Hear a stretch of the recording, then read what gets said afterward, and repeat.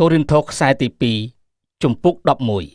11សូមបងប្អូនអត់អោនឲ្យខ្ញុំផង ពេលនេះ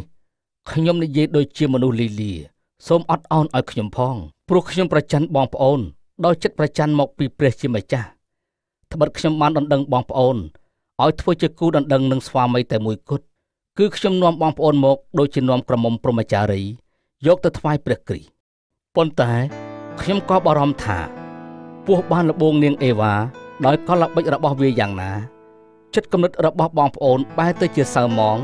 លះបង់ចិត្តស្មោះសរនិងចិត្តបរិសុទ្ធចំពោះព្រះគ្រីស្ទយ៉ាងនោះដែរព្រោះថាពេលមាននរណាម្នាក់មកប្រកាសអំពីព្រះយេស៊ូវណាមួយផ្សេងទៀតក្រៅពីព្រះយេស៊ូវដែលយើងប្រកាសនោះឬមួយបើបងប្អូនទទួលវិញ្ញាណណាផ្សេងក្រៅពីព្រះវិញ្ញាណដែលបងប្អូនបានទទួលហើយឬក៏ដំណឹងល្អណាមួយទៀត ក្រៅពីដំណឹងល្អដែលបងប្អូនបានទទួលនោះបងប្អូនចេះតែអត់អោនឲ្យគេយ៉ាងស្រួលស្រួលខ្ញុំយល់ឃើញថាខ្ញុំមិនមែនអន់ជាងអស់អ្នកដែលតាំងខ្លួនជាមហាសាវកទាំងនោះត្រង់កន្លែងណាមួយឡើយអ្វីត្បិតតែខ្ញុំមិនសូវមានវោហាក៏ដោយផ្នែកខាងចំណេះខ្ញុំក៏មិនអន់ដែរដោយយើងធ្លាប់បានបង្ហាញឲ្យបងប្អូនឃើញក្នុងគ្រប់វិស័យនិងគ្រប់ពេលវេលាស្រាប់ហើយពេលខ្ញុំប្រកាសដំណឹងល្អរបស់ព្រះជាម្ចាស់ប្រាប់បងប្អូនដែលឥតគិតថ្លៃនោះ ខ្ញុំបានបន្ទាបខ្លួនដើម្បីឲ្យបងប្អូនបានថ្កើងឡើងតើខ្ញុំធ្វើដូច្នេះបានសេចក្តីថាខ្ញុំធ្វើខុសឬខ្ញុំបានទទួលប្រាក់ពីក្រុមជំនុំឯទៀតឯទៀតធ្វើឲ្យគេខ្វះខាតខ្លះខ្លះដើម្បីបម្រើបងប្អូន ពេលខ្ញុំនៅជាមួយបងប្អូន បើខ្ញុំខ្វះខាតអ្វីអ្វីខ្ញុំពុំបានធ្វើជាបន្ទុកដល់នរណាម្នាក់ឡើយត្បិតបងប្អូនមកពីស្រុកម៉ាសេដូនបានជួយផ្គត់ផ្គង់នៅអ្វីអ្វីដែលខ្ញុំត្រូវការ ក្នុងគ្រប់កិច្ចការខ្ញុំបានជៀសវាងកុំឲ្យខ្លួនខ្ញុំទៅជាបន្ទុកដល់បងប្អូន ហើយខ្ញុំនឹងជៀសវាងតទៅមុខទៀតខ្ញុំសូមបញ្ជាក់ដោយមានសេចក្តីពិតរបស់ព្រះគ្រីស្ទនៅក្នុងខ្លួនថា ក្នុងស្រុកអាខ័យទាំងមូលគ្មាននរណាអាចបង្អាប់កិត្តិយសខ្ញុំត្រង់ចំណុចនេះបានឡើយហេតុអ្វីបានជាខ្ញុំធ្វើដូច្នេះតើមកពីខ្ញុំមិនស្រឡាញ់បងប្អូនឬទេ ព្រះជាម្ចាស់ជ្រាបស្រាប់ហើយថា ខ្ញុំស្រឡាញ់បងប្អូន ការដែលខ្ញុំធ្វើនេះខ្ញុំនឹងធ្វើតទៅមុខទៀតដើម្បីកុំអោយអស់អ្នកដែលចង់រកលេសនឹងអួតខ្លួនដោយពោលថាគេធ្វើការដូចយើងដែរនោះអាចរកលេសបានសោះឡើយជនប្រភេទនោះសុទ្ធតែជាសាវកคล้ายคล้ายអ្នកបន្លំធ្វើការអ្នកคล้ายខ្លួនធ្វើជាសាវករបស់ព្រះគ្រីស្ទត្រង់នេះសូមកុំឆ្ងល់អ្វីឡើយសូម្បីតែមាសាតាំងផ្ទាល់ ក៏បានคล้ายខ្លួនធ្វើជាទេវតានៃពន្លឺដែរដូច្នេះបើពួកអ្នកបំរើរបស់វាคล้ายខ្លួនធ្វើជាអ្នកបំរើសេចក្តីសុចរិតនោះគ្មានអ្វីចម្លែកសោះឡើយអ្នកទាំងនោះនឹងវិនាសស្របតាមអំពើដែលខ្លួនបានប្រព្រឹត្តជាមិនខានខ្ញុំសូមបញ្ជាក់ម្ដងទៀតថាកុំឲ្យនរណាម្នាក់យល់ថាខ្ញុំជាមនុស្សលីលាឡើយឬមួយទុកឲ្យខ្ញុំលីលាទៅចុះ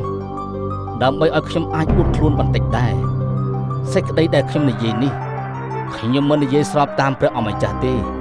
គឺខ្ញុំនិយាយដូចជាមនុស្សលីលាវិញដោយយល់ឃើញថាខ្ញុំមានហេតុនឹងអួតខ្លួនប្រកបមែនដោយមានមនុស្សជាច្រើនលើកខ្លួនតាមរបៀបលោកីនោះខ្ញុំក៏អាចនឹងលើកខ្លួនឯងតាមរបៀបលោកីដែរ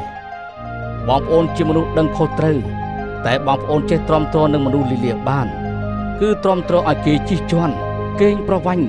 រឹបអូសយករបស់ទ្រព្យ ប្រមាថមាក់ងាយនិងឲ្យគេទះកំភ្លៀងផងខ្ញុំសូមជម្រាបថាគួរឲ្យខ្មាស់ណាស់យើងហាក់បីដូចជាទុនខ្សោយពេកក៏ប៉ុន្តែ បើគេហ៊ានអះអាងត្រង់ចំណុចណាមួយខ្ញុំនិយាយដូចជាមនុស្សលីលាមែនខ្ញុំក៏ហ៊ានត្រង់ចំណុចនោះដូចគេដែរអ្នកទាំងនោះជាសាសហេប្រឺឬខ្ញុំក៏ជាសាសហេប្រឺដែរអ្នកទាំងនោះជាសាសអ៊ីស្រាអែលឬខ្ញុំក៏ជាសាសអ៊ីស្រាអែលដែរ អ្នកទាំងនោះជាពុយពងរបស់លោកអាប់រ៉ាហាំឬខ្ញុំក៏ជាពុយពងរបស់លោកដែរអ្នកទាំងនោះជាអ្នកបម្រើរបស់ព្រះគ្រីស្ទឬខ្ញុំសូមនិយាយដូចជាមនុស្សវង្វេងស្មារតីទាំងស្រុងទៅចុះថាខ្ញុំជាអ្នកបម្រើរបស់ព្រះអង្គលើអ្នកទាំងនោះទៅទៀតខ្ញុំធ្វើការនឿយហត់ច្រើនជាងអ្នកទាំងនោះខ្ញុំបានជាប់ឃុំឃាំងច្រើនជាងខ្ញុំត្រូវគេវេដំច្រើនជាងហួសប្រមាណហើយខ្ញុំក៏មានគ្រោះថ្នាក់ចិត្តស្លាប់ជាញឹកញាប់ដែរ ខ្ញុំត្រូវជន់ជាតិយូដាវា39រំពាត់ចំនួន5ដង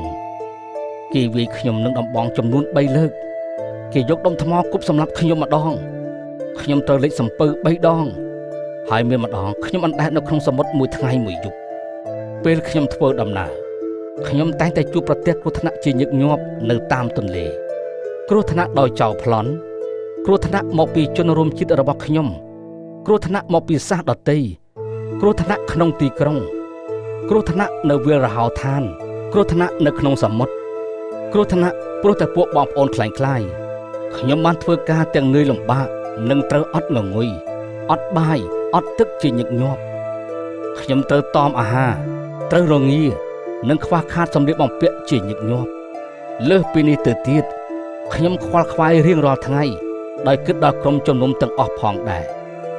ប្រសិនបើមាននរណាម្នាក់ទន់ខ្សោយខ្ញុំក៏ទន់ខ្សោយដែរ